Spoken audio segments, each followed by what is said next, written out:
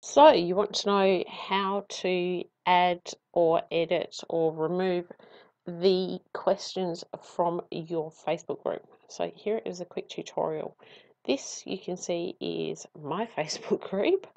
Um, what you do is go to these three dots and by the way this can only be done on the desktop. Go to these three dots here, edit group settings